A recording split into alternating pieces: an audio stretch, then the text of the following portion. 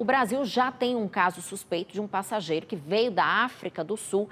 E sobre esse assunto eu converso agora com a Flúvia Amorim, superintendente de Vigilância em Saúde. Flúvia, muito bom dia para você. Obrigada pela participação aqui. A gente diz que o mundo está apreensivo, já tem vários casos confirmados em vários países, né? Mas é aquele momento de cautela e não de pânico, né? Exatamente isso. Bom dia a todos. Dia. É, assim como nós tivemos o surgimento né, da variante Delta e foi um momento de apreensão no mundo inteiro, agora para essa, para essa nova variante, a Omicron, também é um momento de alerta e de avaliação e cautela, principalmente como você mesmo falou. É, o que nós sabemos hoje, até o momento, é que é uma variante que tem um poder maior de transmissibilidade do que a variante Delta.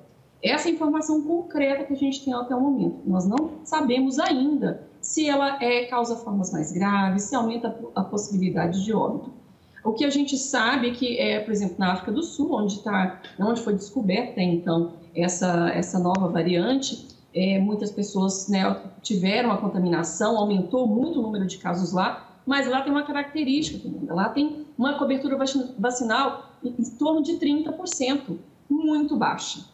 Então, mais uma vez, eu venho falar aqui da importância da, do aumento da cobertura vacinal, que as pessoas se vacinem, porque isso já é confirmado que você tem uma proteção maior, mesmo contra variantes novas, como foi a Delta, mesmo com a introdução da variante Delta, a gente não teve aumento de casos devido ao avanço da vacinação. O Flúvio, mesmo que surgisse uma nova onda da doença agora, é, seria totalmente diferente o enfrentamento. Já temos alguma experiência, como você ressaltou, temos uma boa cobertura vacinal no Brasil? Nossa cobertura vacinal no Brasil como todo é melhor do que a África do Sul, mas ainda não é a ideal para nós termos mais segurança. Nós precisamos melhorar ainda a nossa cobertura. E eu falo principalmente no estado de Goiás. Nós, daqui no estado de Goiás, estamos com a cobertura vacinal né, abaixo de 60%. Nós precisamos que essa cobertura chegue no mínimo a 70%, 80%.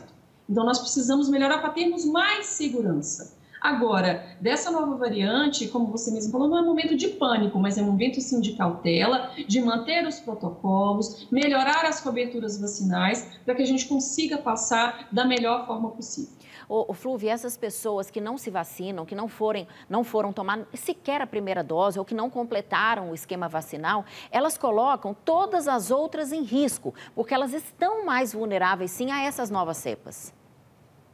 Exatamente isso. Porque se eu tenho, o que a gente tem visto na Europa, né? Alguns países com bolsões de pessoas não imunizadas e naqueles locais um aumento de infecção, não só infecção, mas de casos graves e óbitos também. Então, a pessoa que não se vacina, ela não só se coloca em risco, porque ela não tem a proteção máxima, mas ela também coloca em risco outras pessoas, porque se ela tem uma carga viral muito alta, ela pode transmitir, inclusive, para um não vacinado. O não vacinado pode até não internar, ter uma chance menor de internação e de óbito, mas ele pode se infectar. Então, quanto mais pessoas vacinadas, melhor, melhor o quadro de internação, de óbito, principalmente. E a depender da, dessa cobertura, a gente pode melhorar também a transmissão. Então, é importantíssimo que as pessoas se vacinem. Eu venho fazer um apelo mesmo. Quem não se vacinou, quem está com a segunda dose atrasada, que por favor procure o serviço de saúde. Nós precisamos melhorar a nossa cobertura vacinal. Agora, tem eventos sociais, inclusive, que Estado e Prefeitura já estudam cancelar. Carnaval, por exemplo. Está um pouco distante, mas o Estado vai emitir um alerta essa semana, inclusive, sobre o risco dessas aglomerações, né, Flúvia? Exatamente. O momento, apesar de ter, nós vivermos agora uma melhora dos casos, não quer dizer que a pandemia acabou. E nos preocupa, sim, essas aglomerações que possam vir a acontecer agora final de ano e carnaval, principalmente com essa nova variante circulando. Então, tudo pudermos fazer para evitar né, que a gente tenha um novo aumento de casos, e principalmente internações e óbitos, nós devemos e temos a obrigação de fazer.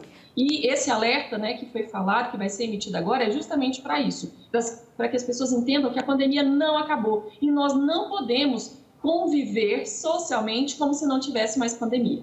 Agora, Flúvia, tem uma outra coisa também, é que de agora para frente a gente vai conviver com esse vírus sempre.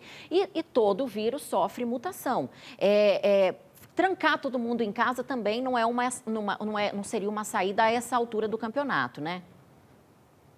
Na verdade, que, que a gente. Esse momento agora, a gente não fala né, em trancar, em, não, não é o momento de falar isso, mas é o momento da gente ter o máximo de precaução para evitar que no futuro essa seja uma medida que tenha que ser adotada. Não é o que a gente quer, não é que ninguém, ninguém quer voltar ao que a gente viveu, né, de lockdown, de fechamento, de aumento de restrição. Nós não queremos isso. Agora, a gente tem ferramenta para evitar que isso aconteça e a gente precisa usar essas ferramentas. Né? Usar a máscara, a máscara não deve ser descartada ainda, né, o uso dela, por exemplo, e aumentar a cobertura vacinal. Flúvia, muito obrigada pela sua participação aqui, pelos esclarecimentos, a gente agradece, viu?